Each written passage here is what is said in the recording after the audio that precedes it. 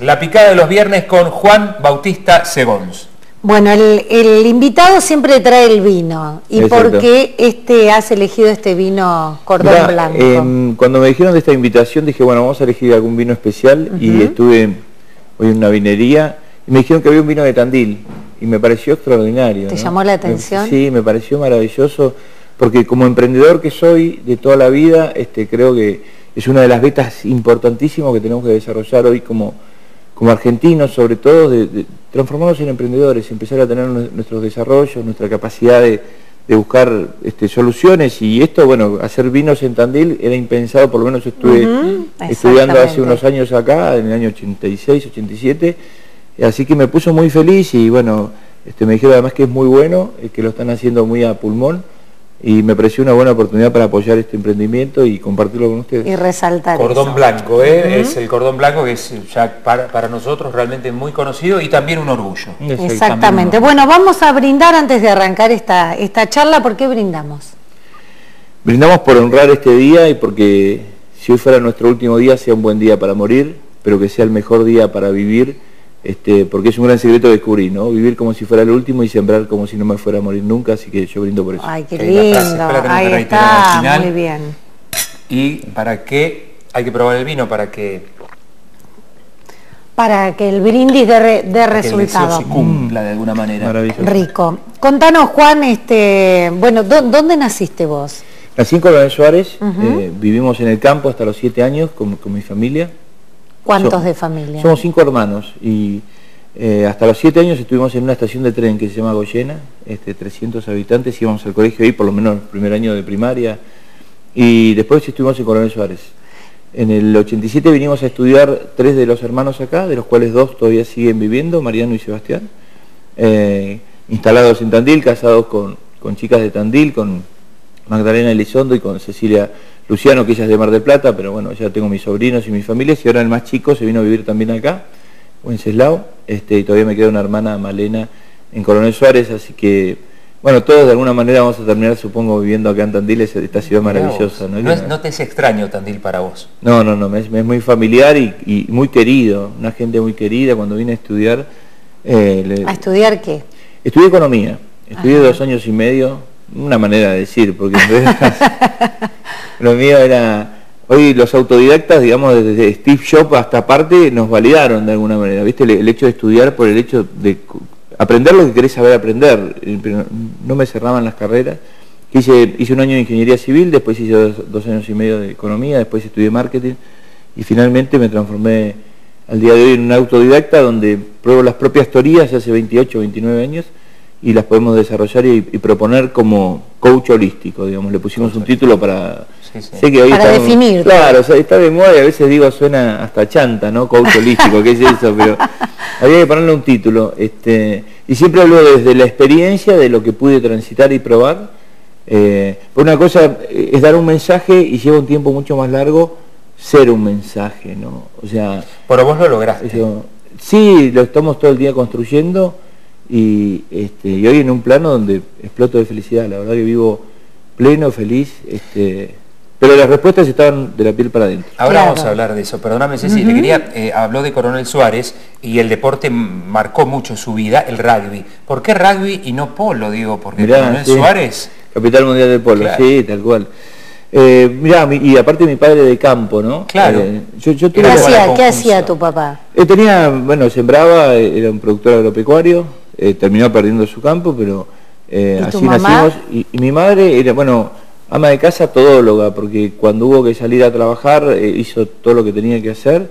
Este, la verdad que fueron dos personas que son mi ejemplo de vida, ¿no? Desde la resiliencia, la actitud que le pusieron, la capacidad de superación. ¿Qué pasó con el campo? ¿Por qué lo perdieron? Porque las situaciones cíclicas del país me imagino deben haber tenido que ver. Sí, tal cual. Papá, bueno, teníamos 1.500 hectáreas de campo y este y bueno, era un hacedor, siempre vivía haciendo y ayudando a todos los que podían. Eh, así que, bueno, terminó, digamos, uno podría decir en términos eh, capitalistas, digamos, eh, un fracaso, viviendo en un hotel este, y, sin nada económico, pero nos dejó una fortuna tremenda, ¿no? Nos hizo confiar en nosotros, nos dio la confianza, el don de la confianza y todo su poder. ¿Qué, edad tenías vos cuando sucedió eso? ¿Cuando murió mi padre? No, cuando se queda sin el Ah, y nosotros teníamos 12 años más o menos. O sea, una este, edad de que uno ya es consciente de esa situación y te, acordarás de todo. Totalmente. Bueno, siempre digo, él se fundió dos o tres veces. Yo me fundí tres veces en mi bendito país. Era como que parecía hereditario, ¿no?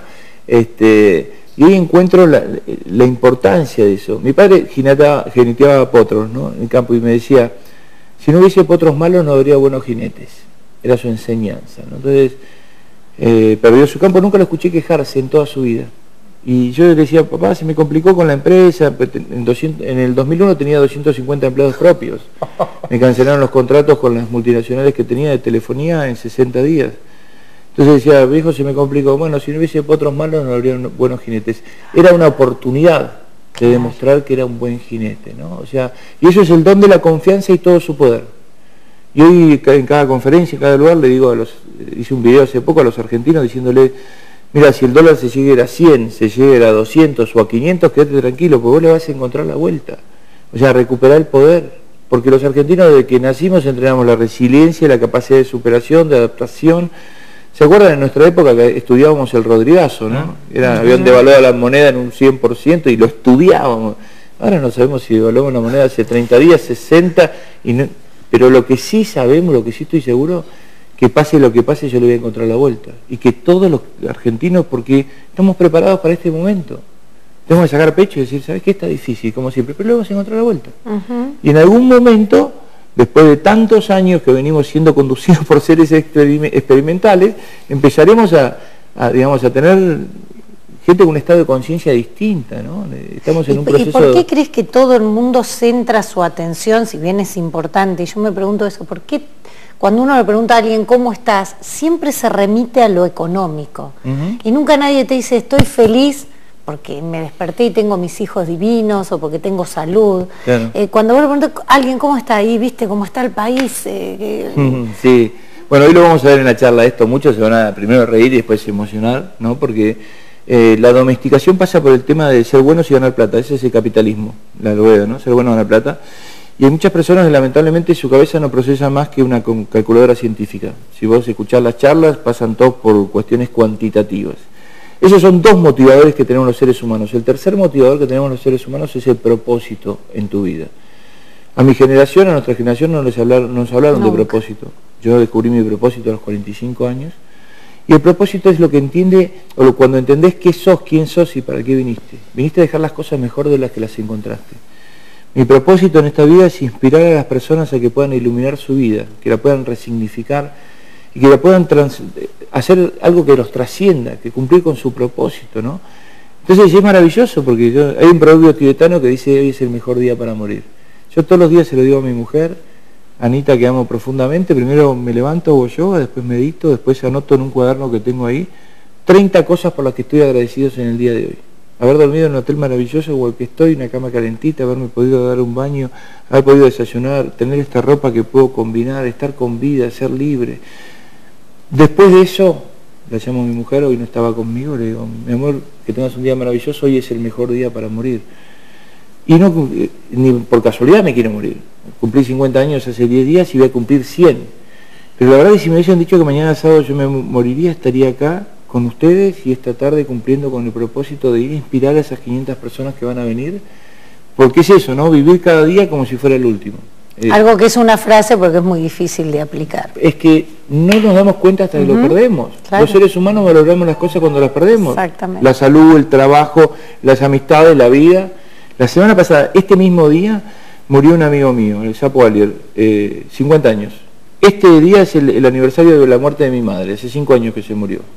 ¿Hoy? hoy, María Isabel Albano estaría cumpliendo, eh, y eran 75 años. Este, el, martes pasado murió una compañera de, colegio de la hija de, Ana de Nani, 25 años. O sea, ¿cómo, vamos a vivir como inmortales? ¿Estamos locos? Esperando que termine el día para irnos a nuestra casa, esperando que termine la semana para el fin de semana, ¿no? Y esperando que termine el año para irnos de vacaciones. Pará, pará, te vas a morir. Si no lo recordás, te vas a morir. Entonces, viniste acá a dejar... Wayne Dyer dice, tenemos una música interior que no te vayas de este mundo sin haberla tocado. Es hora de, resignificar. ¿viste? Que, que, tu presencia cuente, que donde vos estás, la gente se emocione, se inspire, eleve su actitud, su energía, pues eso es cuestión de decisión. O sea, la carencia y la abundancia están en tu mente. Si vos te levantás a la mañana viendo lo que te falta o viendo lo que tenés. Y después me dicen, no, hay mucha gente que la pasa mal. Es cierto. Los problemas para mí son tres. No tener donde dormir, no tener para comer y no tener salud. Estos son los tres problemas. Pero la gente que me viene a escuchar no, no tiene estos problemas. Y los que no tienen salud también tenés que poner una actitud, digamos, frente a la vida. Lo demás son situaciones a resolver. ¿Me reiterás eh, los tres problemas? Para mí son no tener donde dormir, no tener que comer y, no tener salud. Eh, esos son problemas. Que también hay que ponerle actitud, ¿no? Pero después quejarnos de qué. O sea, deporte nacional. Hoy lo vamos a ver en la charla, deporte nacional la queja, quejólogos. Digamos, todo el tiempo hablamos primero, ya estoy harto de quejarme de calor, digamos, ahora no veo la hora de volver a quejarme del frío, porque ya empezaba, ¿viste? Ya viene, ya viene, ya viene. He quejado del clima, de la política, del tránsito, de, todo. Y cuando terminé otro dice, ¿Terminé, ¿terminaste? Y bueno, ahora escúchame a mí, ¿viste? Dice, no, no sabés lo que, ¿viste? Una cosa... Hay un millón de venezolanos que vinieron a Argentina y trabajo mucho con ellos. Eh, y un venezolano me decía el otro día, lo que más me cuesta de los argentinos es su lenguaje de carencia. Dice, todos hablan desde la carencia. Los que tienen una empresa porque la tienen, los que tienen trabajo porque tienen, los que no tienen porque no tienen. Todos hablan desde la carencia. El taxista, el kiosquero, el empresario, el campesino. Yo no me puedo creer lo que es el país que tienen ustedes. Dice, yo ya tengo la oportunidad con mi mujer. A los chicos ya los traemos a un colegio, nos dieron el documento argentino. Mi madre y mi padre están en Venezuela, un hermano en Rusia y otro en, en Barcelona. Creemos que a fin de año nos vamos a poder juntar todos. Este es un país bendecido, las oportunidades que tiene, no sé de qué se quejan, me decían venezolanos, ¿no? Entonces, hasta que no resignifiquemos lo que estamos haciendo, lo iluminemos, vamos a vivir en un estado de carencia. Vos lo dijiste también, a veces hay que perder las cosas para valorarlas, y ellos, en este caso, las perdieron. Nosotros, a ver, esto que voy a decir por ahí no se toma bien, pero a nosotros, pese a todo, siempre nos fue bien. Sin duda. Nunca tuvimos la guerra, las guerras como tuvieron, por ejemplo, los países europeos que tuvieron que arrancar de cero. Nunca tocamos fondo nosotros. sí, Pese a todo, ¿eh? Pese a que mucha gente me diga, yo sí toqué fondo porque estoy sin trabajo. Y sí, eh, seguramente es un fondo, pero el país nunca tocó fondo. Pero aparte... y no sé si decir gracias a Dios o lamentablemente. Bueno, es una buena postura. Yo bendigo haberme fundido tres veces. Fundirse en títulos es una palabra, porque quedas inhibido en los bancos, con deuda, con prestamistas que te persiguen sin saber qué hacer, o sea es un título, ¿no? Ese profundo infierno. Estuve dos veces con la escopeta en la boca queriéndome pegar un tiro y no pude. ¿Eso es literal? Literal. Entonces, eh, y acá, muy causalmente. Entonces, hoy bendigo ese proceso. Yo me estaba preparando para este momento de mi vida. Y los argentinos, lamentablemente, hemos perdido, entre otras cosas, la identidad. Hablamos de nuestro país en tercera persona, este país, este país. Vos lo pasás por arriba esto de, de estuve a punto de quitarme la vida y a lo mejor hay personas que eh, eh, están esperando esta palabra, pudiste sobrepasarlo, pudiste con ayuda, con ayuda psicológica, o esa ayuda la buscaste dentro tuyo. Autogestión de todo. O sea, en títulos, mi vida, yo transité un infierno profundo, digamos. Este, eh, todo lo que se te puede ocurrir. Y, yo lo bendigo, porque en nuestras creencias somos seres espirituales que venimos a vivir una experiencia. No te da vergüenza decirlo. No, para nada. Nada, pero nada, en título. O sea, no me enfoco en eso porque no es importante, pero pueden ver eh, unos videos que hay en mi página, digamos, mi despertar. Eh, fui abusado, estuve preso. Estuve preso porque mataron a mi mejor amigo al lado mío, digamos, y el que lo mató era un mafioso. Entonces nos metieron preso a todos, una pelea callejera, después de un partido de fútbol. El que lo mató manejaba el juego clandestino. Entró por una puerta y salió por la otra, estuvimos todos 20 días presos. Y yo vi cómo mataron a mi mejor amigo al lado mío, entregamos el cuchillo. Conocí lo que era la impunidad a los 21 años. No la corrupción. La corrupción es un problema mundial. Nosotros tenemos un problema de impunidad. Ayer levanté a un señor que venía, un guardacárceles, que pues siempre levanta a todo el mundo en la calle, en, la, ruta. en la ruta. Un guardacárceles. Y me, viste, y yo digo, uy, qué loco. Pues es como yo pude sanar, ahora me acaban de llamar, la, otra semana le doy una charla a la Policía Federal, este, a Donoren, ¿no? Porque yo creo que cada uno hace lo que puede en su momento de su vida. Pero yo conocí lo que era la impunidad y la corrupción, pero nadie me la contó. La impotencia, vos salís de un lugar donde estás preso, uno no sabe lo que es estar privado de la libertad. Y este guardacárcel me decía, ¿sabés por qué? En los últimos cuatro años me trasladaron seis veces. Hace 19 años que vengo en carrera, porque yo no transo, soy una persona noble, honesta. No entro en ningún sistema de corrupción. Yo, viste, la verdad le dije, gracias. Gracias. ¿Sabes qué? Porque cada uno como el don pirulero tenemos que atender nuestro juego. Esta Argentina, la de mi metro cuadrado, es una Argentina 100% honesta, acá no hay corrupción. Esta es una Argentina respetuosa, solidaria, integral. Yo siento, pienso, digo y hago lo mismo. No sumarte a lo otro porque si no serías uno más. No sé cuál es la otra Argentina, digamos, cada uno como cuando decís, viste cómo somos los argentinos. Hablas de abuso también, eso cuando eras chico, no sé si... Sí, sí, literalmente, este, pero son temas que en realidad si nos enfocamos, lo más importante es... Que oscurecen el alma en realidad. A ver, son todas situaciones que puede ir este, gestionando y sanando. Hoy vivo en el paraíso, o sea, hoy vivo, exploto de felicidad. Pero excusas para ser víctima tenía todas, todas. ¿eh? Quien te escucha dice, hablas, podés hablar hasta como un pastor. no, no, bueno. Eh, eh, lo que hago es compartir desde el corazón mi experiencia y compartir las herramientas que me permitieron eso, iluminar mi vida, resignificarla y entender que hoy puedo hablar de igual a igual, con, cualquiera, porque transité esos procesos y los bendigo. Era, fui jugar compulsivo, o sea, no sé cuántas cosas fui. Tremendo, o sea, pero eh, todo eso tuvo un punto de inflexión cuando entendí que yo tenía que ser el protagonista de mi vida, que si me seguía agarrando de las excusas o de la victimización, había perdido poder. Quiero dejar una pregunta para el próximo bloque, que es eh, ¿cómo y cuándo haces ese clic? ¿Y qué te ayuda a hacer ese clic que eh, bueno, a ver si fue un momento, si fue algo, si fue un proceso, pero lo respondes en un ratito. Perfecto.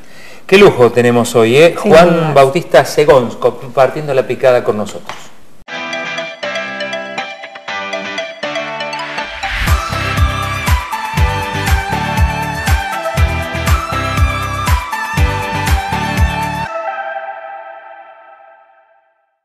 Estamos compartiendo la picada de los viernes con Juan Bautista Segons, eh, bueno, que hoy eh, a las 19 va a estar brindando una charla en el eh, Teatro del Fuerte, lindísimo lugar además, que ya lo conoce, por cierto. Exactamente. Bueno, y van llegando mensajes. Muchos mensajes, muchos mensajes. Realmente es un gusto escucharlo. Bueno, y no es para menos. Juan, la verdad que nunca, mira lo que dicen acá, nunca pensé escuchar un mensaje como el tuyo. Mm, qué bueno, qué honrado. Es muy, muy fuerte. Eh, buenas tardes, es un verdadero placer escucharlo a Juan, le mando un saludo, dice María. Ah, ¿Eh? Gracias, María. Eh, perdón, buenos días. quiero agradecer que lo hayan llevado. Uy, qué bueno, qué bueno. Dice además, dice, a ver, espérate, espérate, espérate, que viste que a veces escucha... Escriben por ahí, complicado. Dice, ¿cómo puedo revertir las cosas malas que me han pasado en la vida? Bueno, eh, un poco de eso es esta charla también. Eh, y la pregunta que le hacíamos era de todo lo malo que le pasó, estuvo al borde del suicidio en dos oportunidades, estuvo preso, fue abusado, eh, quebró sus empresas, o sea, todo mal. ¿Cuándo, ah, ¿cuándo se hace el clic? ¿Cómo se hace ese clic? Digo porque esto puede servir también para los que están escuchando. Mira, en cada momento vas haciendo clic. O sea, hay una charla TED que se llama Solo cambié mi actitud y todo cambió, tiene como cuatro millones y pico de reproducciones que habla un poco de, herramientas, pero lo voy a hacer simple. El día me decían, ¿cómo se hace? Bueno, yo creo que la vida es como el Tetrix. Ustedes han jugado el Tetrix, ¿no? Hoy los chicos están de moda otra vez, ¿viste? El Tetrix es ese juego que primero te bajan un cuadradito, después un palito, después una L, bueno. Cuando vos empezás a jugar el juego de la vida, es todo nuevo, entonces no sabés cómo acomodar las piezas, medio las pones mal, pum, perdiste. Bueno, ¿qué tenés que hacer? Volver a Arrancar otra vez.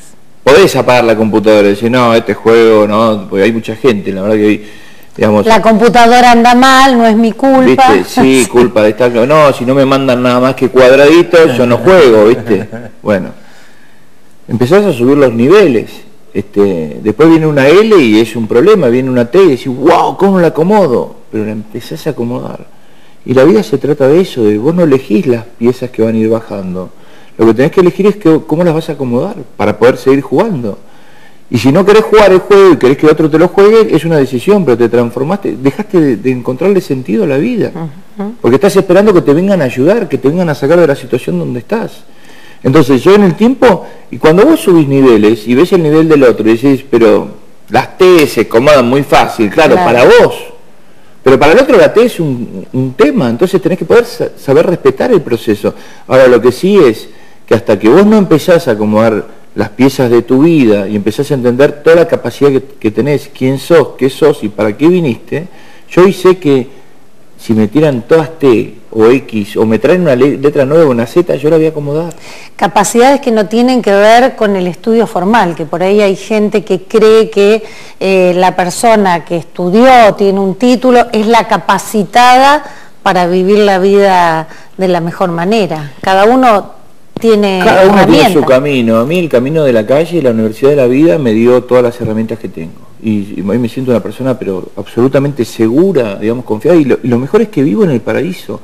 Pero el paraíso y, el infierno no es un lugar, es una decisión. El infierno lo tengo acá al ladito.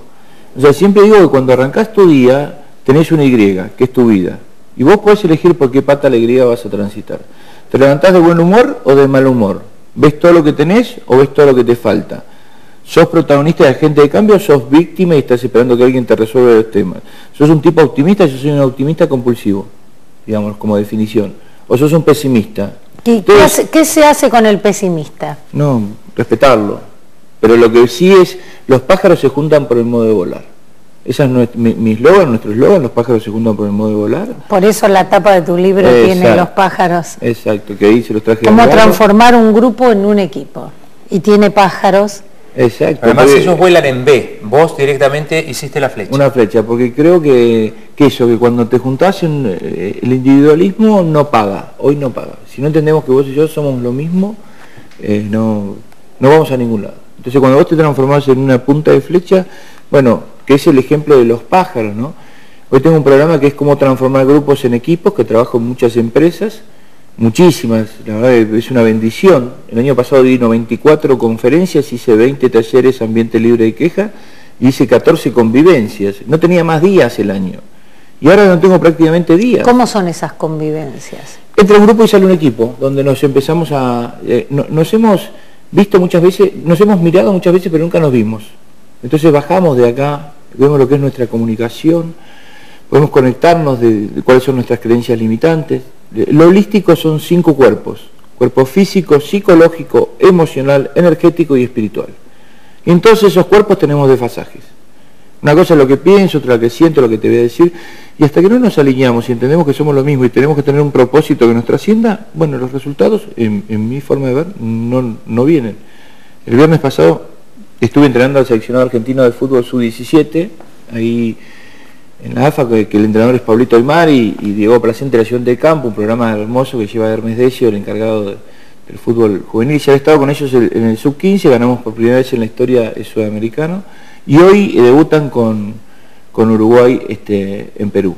Y este año vamos a ganar el Mundial Juvenil, digamos, lo vamos a ganar como una consecuencia, porque para nosotros el, objetivo no puede ser el resultado, vos no podés tener como objetivo ganar.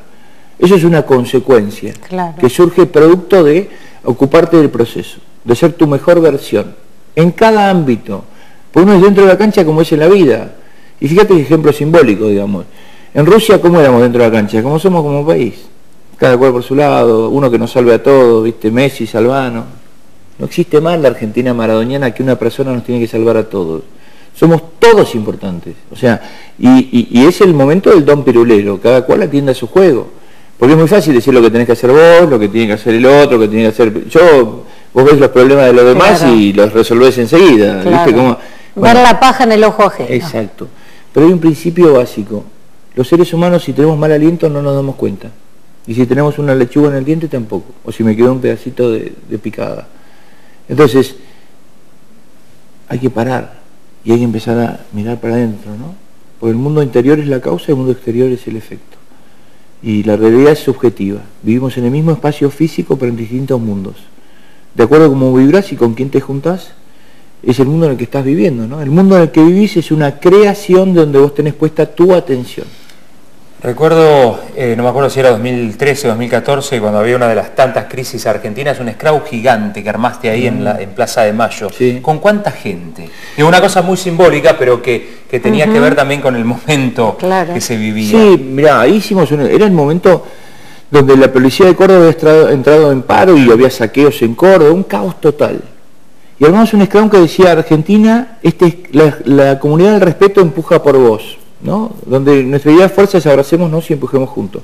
Fíjate qué simbólico lo que acabas de decir, Porque siempre digo, somos lo que hacemos, pero también somos lo que dejamos de hacer. ¿no? Te define las cosas que haces y las que dejas de hacer. No todos tienen las mismas oportunidades.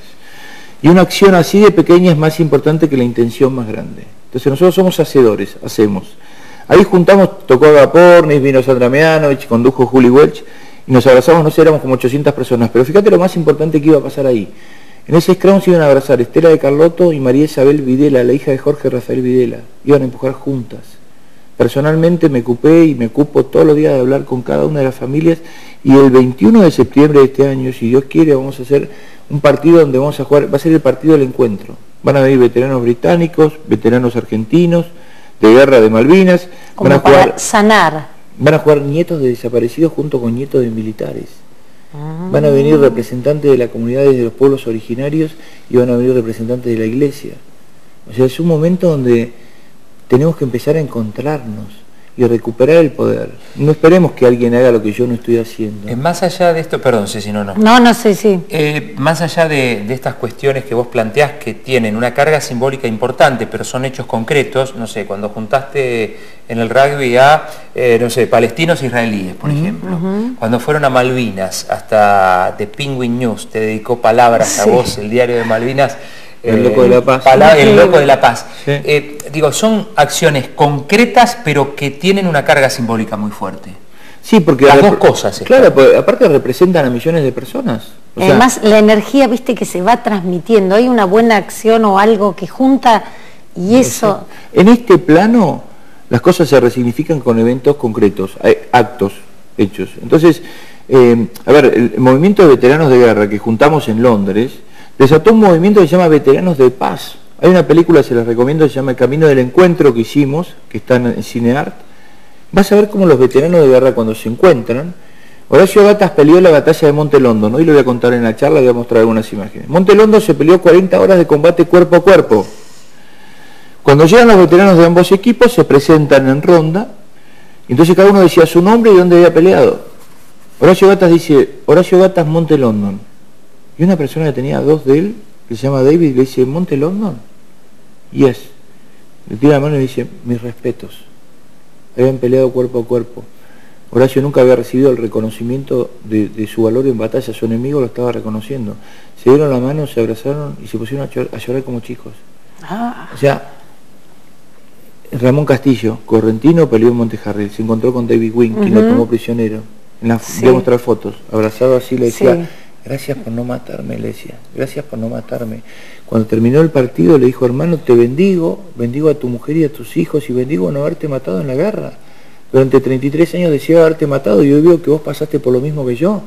Y el británico diciéndole, hermano argentino, te bendigo y contémosle al mundo que nadie gana una guerra. ¿Sabes cuántos soldados británicos se suicidaron del 82 hasta ahora del soldado profesional que viene, cumple con su trabajo? Se suicidaron más de mil. Más de mil suicidios tienen. Nosotros tenemos 649 muertos y más de 700 suicidios. Entonces, son más los que mueren después. Eso es la guerra. Los gobiernos pueden declarar guerra. ¿Sabes cómo terminamos ese partido de veteranos de guerra? Un esclavo gigante que decía, eh, yo te declaro la paz, en inglés y en español.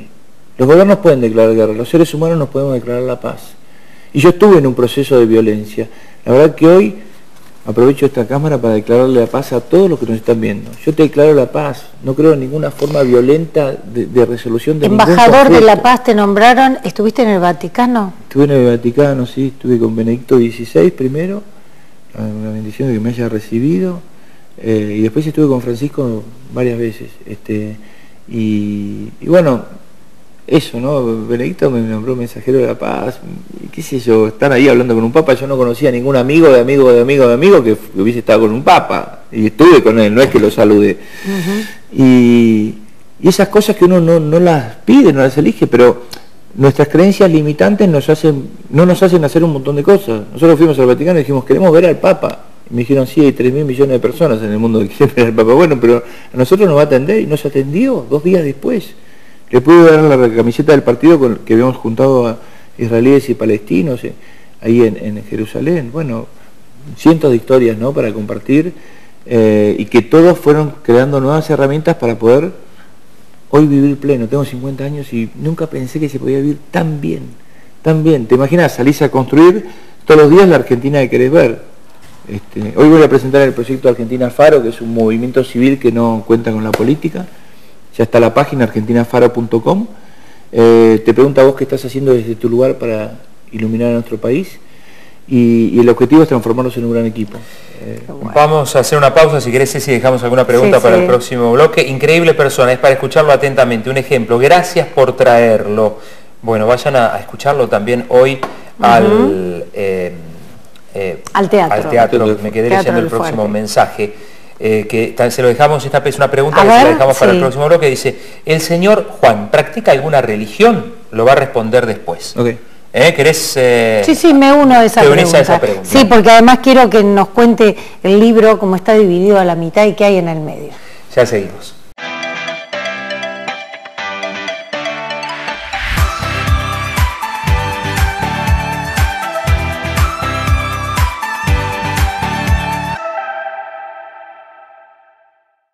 Bien, y había quedado la pregunta de una televidente si eras, este, profesabas algún culto en particular. Sí, soy de formación católica, pero no practico ninguna religión. Eh, en nuestras creencias somos seres espirituales viviendo una experiencia humana.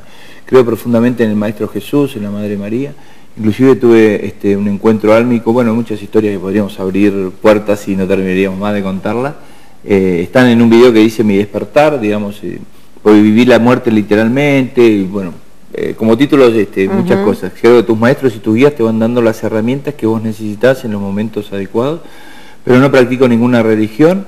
Este, creo que digamos, somos lo mismo y que, de alguna manera la esencia de las religiones son amorosas, pero después tienen muchas diferencias que son un principio de también de, de, a, veces, eh, a veces confundimos religión con espiritualidad.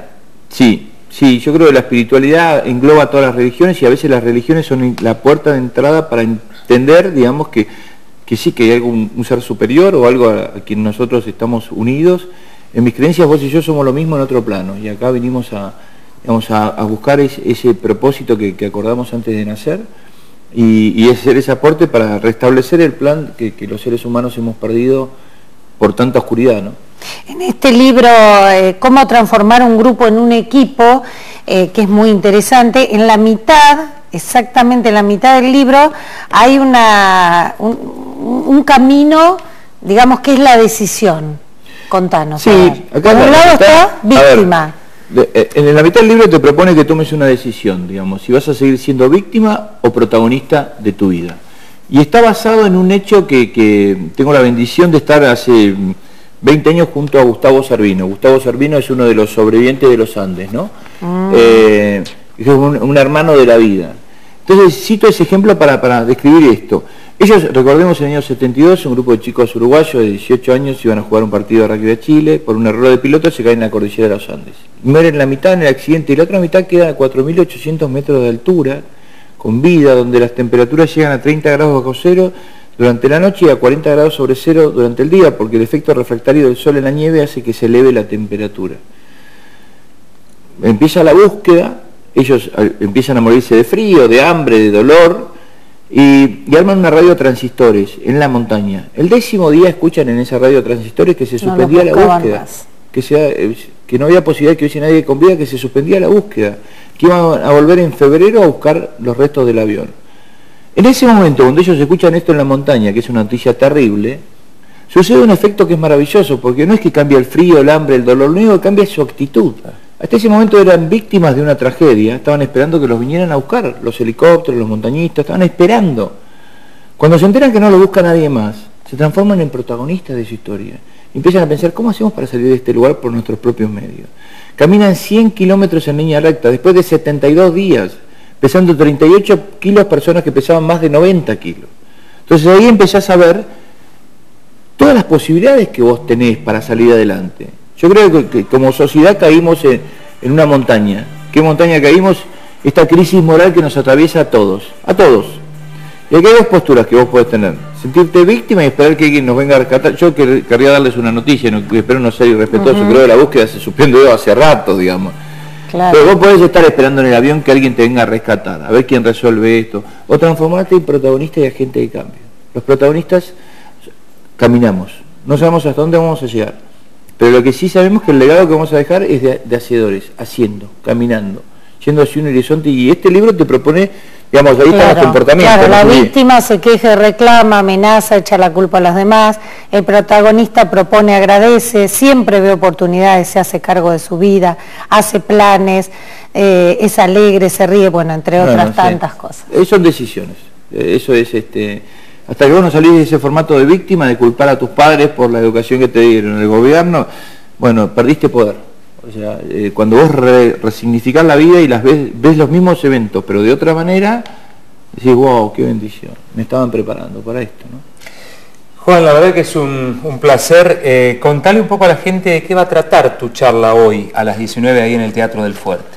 Bueno, a las 19 vamos a estar compartiendo la, conferencia que se llama Solo cambié mi actitud y todo cambió, este, y que habla de esto, ¿no? Yo digo que siempre que el conocimiento, la habilidad, el talento, la experiencia, todo eso suma, pero la actitud multiplica. Eh, ¿Qué actitud le estás poniendo a la vida? Digamos. Eh, vamos a hacer un repaso de qué es lo que nos hemos transformado como sociedad, porque vivimos quejándonos, opinando, reclamando, hablando mal de todo el mundo, digamos, como deportes nacionales, este, y, eso nos hizo perder poder. Entonces, eh, yo mm, voy a compartir desde dónde pude resignificar mi vida, cuáles son las herramientas que, encontré. Voy a contar también el caso de éxito de la Copa Davis, que fui el coach holístico del equipo de Copa Davis, tuve la bendición de... Y tenemos dos campeones de Copa Davis acá en, Tandil, Pico Mónaco y Juan Martín del Potro, y también Feder Bonis, que es de Azul. Este, así que bueno, la bendición de haber participado en ese equipo. Casos de éxito de cómo cuando uno resignifica y tiene un programa y tiene un proyecto de, que el equipo es mucho más importante que los individuos, eh, todo puede suceder. ¿no? Este, y también los voy a invitar a este proyecto de Argentina Faro, este, donde eh, la propuesta es que los pájaros se juntan por el modo de volar y bueno, los que le resonaron nos pueden seguir en nuestras redes, este, Juan Bautista Segons y, y ojalá los veamos hoy a las 7 de la tarde en el Teatro del Fuerte. Bueno, para cerrar esta, esta charla que nos ha hipnotizado y, viste que te deja cargado de buena energía y de, valorar, como decimos siempre, las cosas más chiquititas, eh, tenemos que cerrar esta charla y bueno, volvemos a brindar.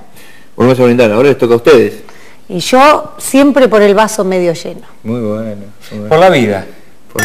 Que influye en todos. Gracias, Juan. Gracias. Un verdadero placer. Un honor haber estado. Gracias. Eh, Juan Segons, Juan Bautista Segons charlando con nosotros, eh, aquí en La Picada de los Viernes. Acordate, si lo querés ver, a las 19, hoy en el Teatro del Fuerte, gran conferencia, él la estuvo aquí vendiendo. Bueno, vos tenés la posibilidad de estar en el Teatro del Fuerte también. Una gran charla va a ser como tantas otras. ¿eh? Eh solo cambié mi actitud y todo cambió. Juan Bautista Segons, hoy a las 19 en el Teatro del Fuerte.